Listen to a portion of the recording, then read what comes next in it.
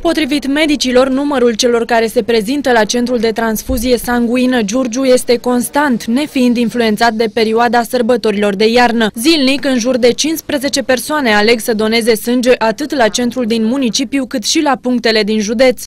Vin aproximativ 10 și 15, sunt zile care sunt și 15.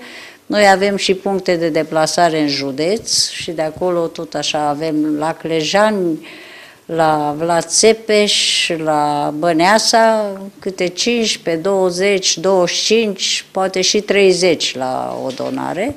În schimbul sângelui pe care îl donează, giurgiuvenii primesc șapte etichete de masă și beneficiază de o zi liberă de la serviciu, precum și de un set de analize gratuite. Pe lângă aceste beneficii, cei care aleg să doneze în mod regulat capătă o stare fizică mai bună și reduc riscul apariției mai multor boli grave. Da, din 2009, da.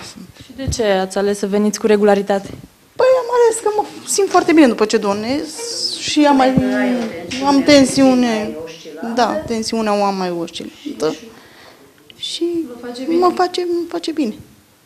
Nu mai mă simt Așa, după ce donez chiar foarte bine mă simt. Donatorii se pot prezenta din nou după minim 70 de zile de la ultima donare. Să doneze din spirit umanitar pentru semenilor, pentru că e medicamentul care face bine, mai ales la cei accidentați, la cei care au probleme de boală cu hemoglobină cu anemii, cu hemoglobină scăzută, cu anemii. Fiecare giurgiuvean donează 430 de mililitri de sânge, care este păstrat în frigiderele centrului, până când una dintre unitățile medicale din județ sau din București solicită anumite grupe sanguine.